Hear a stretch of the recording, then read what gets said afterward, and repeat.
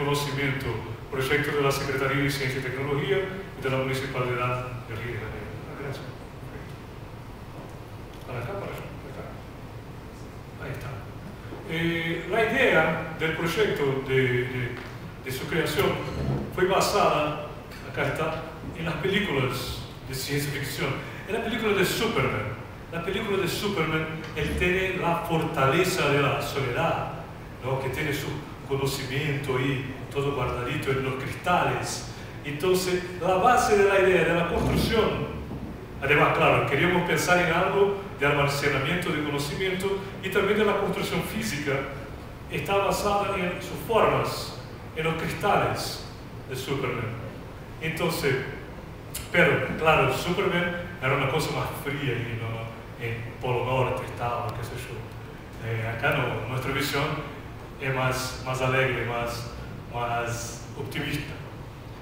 Eh, sobre los muebles que componen las plazas y las naves de conocimiento.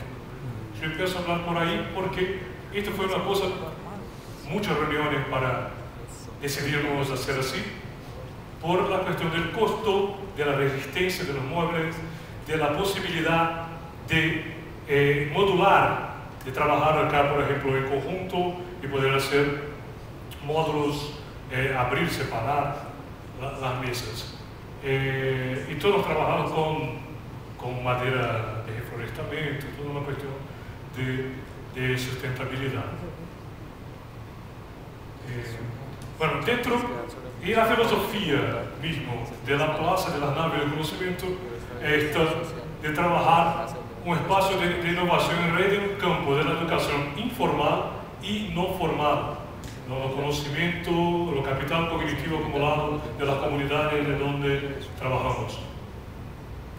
Eh, y es claro, el aprendizaje productivo, la cultura digital, ¿no? ¿Cómo vamos a trabajar sin pensar en una sociedad de información con todas las posibilidades ahora con los smartphones, los, las cámaras digitales, todas las redes, ¿no? cómo son las producciones de contenido, de contenido local, por ejemplo.